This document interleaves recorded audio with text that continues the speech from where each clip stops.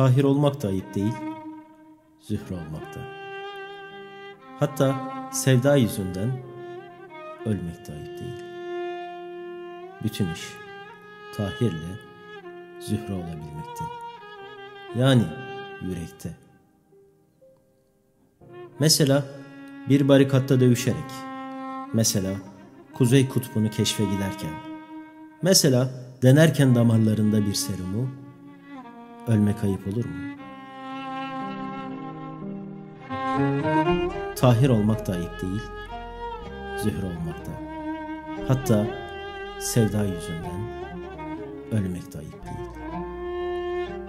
Seversin dünyayı dolu dizgin ama o bunun farkında değildir.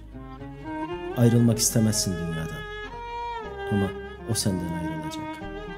Yani sen elmayı seviyorsun diye elmanın da seni sevmesi şart mı? Yani Tahir'i Zühre sevmeseydi artık yahut hiç sevmeseydi Tahir ne kaybederdi Tahirliğinden? Tahir olmak da ayıp değil, Zühre olmak da. Hatta sevda yüzünden ölmek de ayıp değil.